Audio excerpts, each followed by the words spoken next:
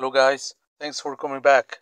Today I want to show you a new board that allows to interface the Raspberry Pi or other single board computers to the outside world.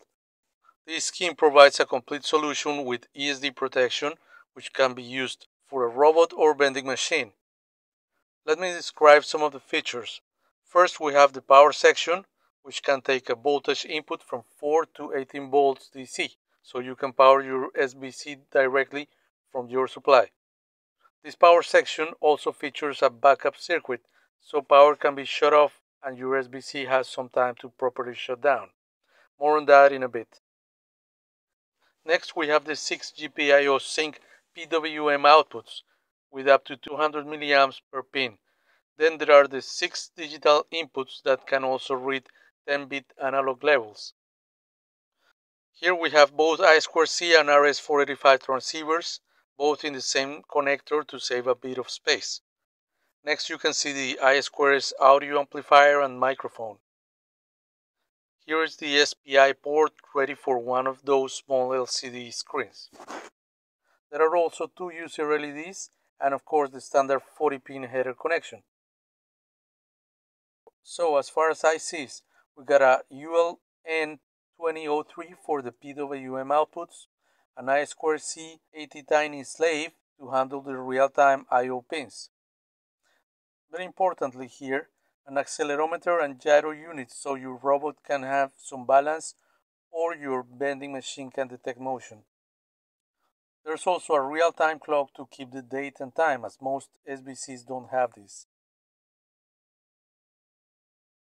The original idea for this was to make a small hat only for the Pi Zero, but it was too tight and not all the features would fit in here. In particular, the power backup and proper SPI connection. But let me know in the comments if this is a format that's still worth pursuing.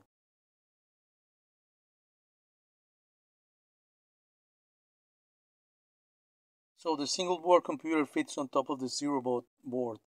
For the full-size Raspberry Pi, a flex adapter is pretty straightforward. I will show that next time.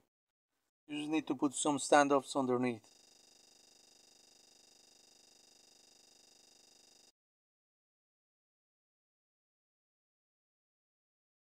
Also, the ATtiny microcontroller is reprogrammable through the paths on the back.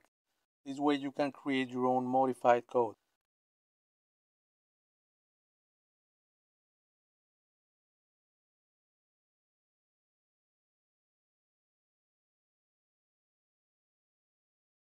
Additionally, if you want to put the board side to side with your SBC, I've made this turnaround board. Still need to test it, but this should help when you already have other boards or fans stacked. Or you can even make your own PCB adapter for boards that don't follow the same 40 pin order.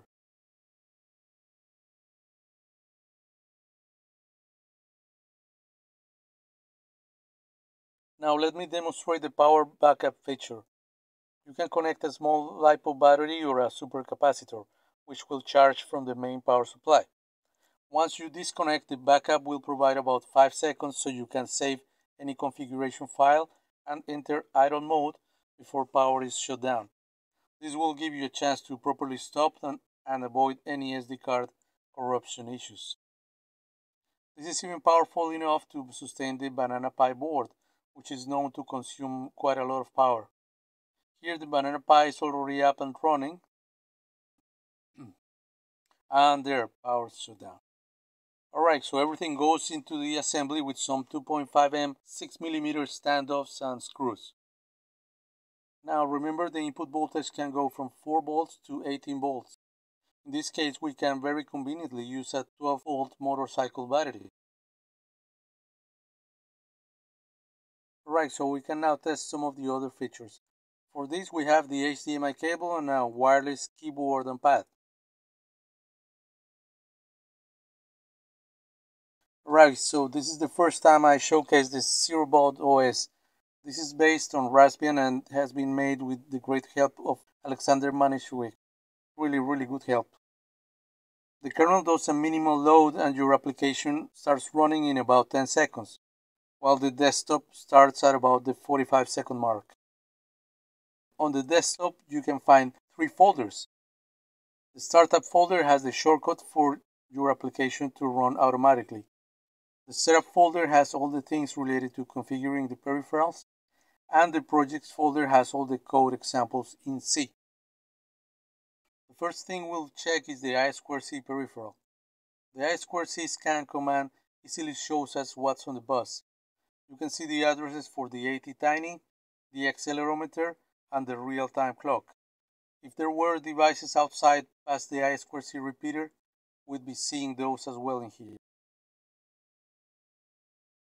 There is an example project to test the real-time clock. Most projects have some comments at the top to show how the system should be configured, although this is already done on this image of the OS. Excuse the image quality guys until I get an HDMI capture device. Next thing we'll test is the SPI peripheral with an LCD screen. We just open up the project, remembering that we must do so as root for the SPI to work. Again, we see system configuration instructions, also the setup of the lines and starting the SPI. We basically alternate two buffers with red and green pixels for the screen, but this can just as easily be pictures loaded from the SD card. Alright, now let's see how the I2S audio works. Again, many thanks to Alexander for helping with this configuration. We use the arecord command to start capturing with the onboard piezo microphone.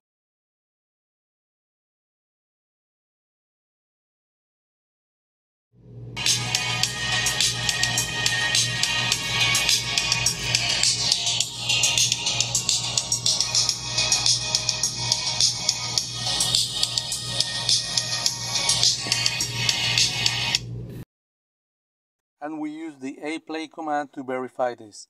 Note that this test is with an 8 ohm speaker, but the amplifier can actually move twice the power.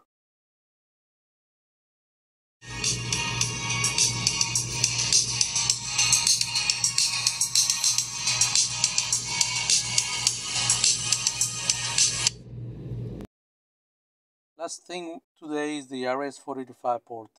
Again, we have a project for this. A GPIO line is needed to set the direction of the 485 transceiver, and we also use the UART, of course.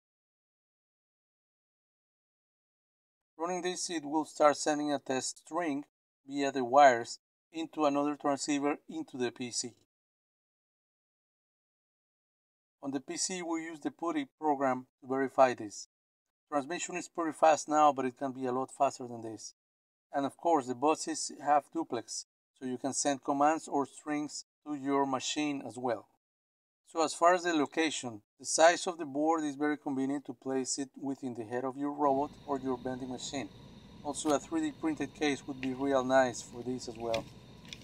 This is all very encouraging since the bill of materials is under 20 bucks, so we'll take it from there. Alright guys, so I will make a small revision of this board to change a couple of components and test some more.